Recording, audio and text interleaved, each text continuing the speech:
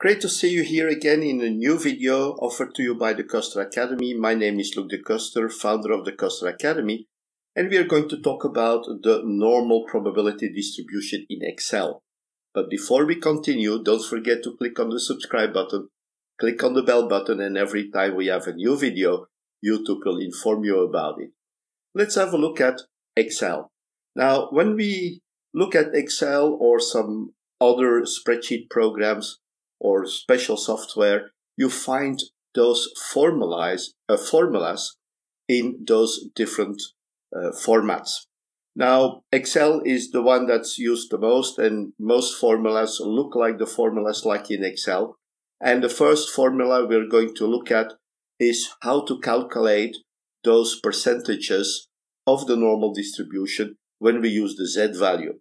So what we have in Excel is a norm dot s dot distribution with two parameters z and cumulative. Now in Excel, we always calculate from the, to the left of z. Either we have the value at z or the probability for values less than z. Now we have the z value, that's the z value we calculate with the formula x minus the average divided by the standard deviation. And cumulative means that we either select the cumulative curve, like we see the gray area, or the false. When we select false, we have the density or the mass curve, the value of the function, the normal distribution at the point z. There is also a possibility to have the formulas using the numbers without calculating the z value. That's one of the advantages in Excel because thanks to the calculations, thanks to the formulas that are, that are integrated, we don't necessarily have to calculate the z value. And we can just calculate the va values starting from x, the average, or the average when we have x bar of a sample, the standard deviation sigma or s. Now the numbers here, x are in fact the data values that we consider. We have the mean and the standard deviation and the same rule applies for cumulative. True gives us the cumulative curve, false gives us the density curve. Now let's first have a look at the norm.dist function. Here we don't have to calculate the z value, so we fill out those numbers in the formula. And when you click on f of x in the Excel sheet, you will find the formula builder. And there you can put the values x161, mean 155, standard deviation 10. And here I select false. And at the bottom, you immediately see the result.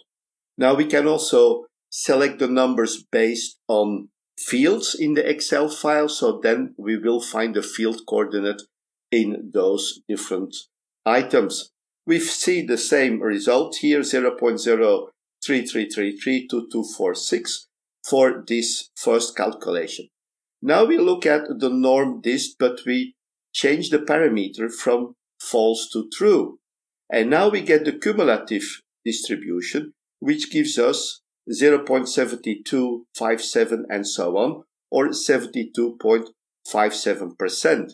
So basically, it's very easy to enter those data in Excel using the formula as you know it. Once you know the formula, it's easy to copy paste. And when you want to build a formula for the first time, you can use the formula builder and it also gives you explanations on how to work with that formula. Now we look at the density and the probability curve. So basically we can calculate this for different values. I selected the mean value of 155 and a standard deviation of 10. I take the x values going from 120 to 180 and we see through calculation using these formulas, I can calculate the coordinates of the density function and the cumulative function like you see here on the left hand side you see the values for the cumulative curve and on the right hand side you find the values for the mass curve.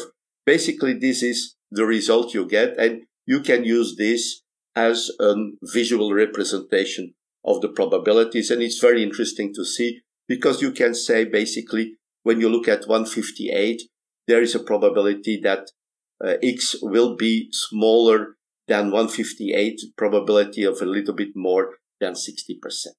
We will use that in other applications like in project management, risk management, or earned value, and other elements in project management, but also in operations and other courses. Now we look at the norm.s.dist function. Here we use the S value, we calculate, or sorry, we use the Z value. We have to calculate the Z value and the formula is a lot easier. Eh? We only have the Z value there, true and false. And the formula builder is also, let's say, uh, very simple. Here we see for Z, F14, it means that in the coordinate F14, I find the Z value equal to minus 3.5 we have false and we see the result down under 0.000872. This is the result of this calculation.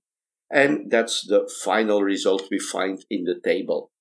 We can now do the same thing and we can use the norm.s.dist where we have the cumulative parameter set to true. So now we find the probability of the numbers being to the left of minus 3.5 as a z value. And we see it's a very small number. It's 0.00023 and so on. So basically we find these different numbers and we can do all the calculations. We can also do the same thing that we did before. We can draw the curve and we see the table and the density and the cumulative function or curves. So that was it for this presentation. Don't forget to click the subscribe button, click on the bell button, and I'm looking forward to seeing you in our other videos. Thank you very much and bye bye.